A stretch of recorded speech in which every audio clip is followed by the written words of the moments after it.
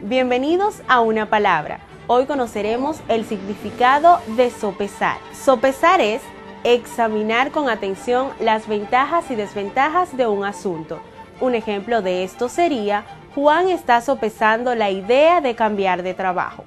Aquí podemos ver cómo se examina con atención el pro y el contra de un asunto. Esto fue Una Palabra por República Dominicana TV, Tu Mundo en Televisión.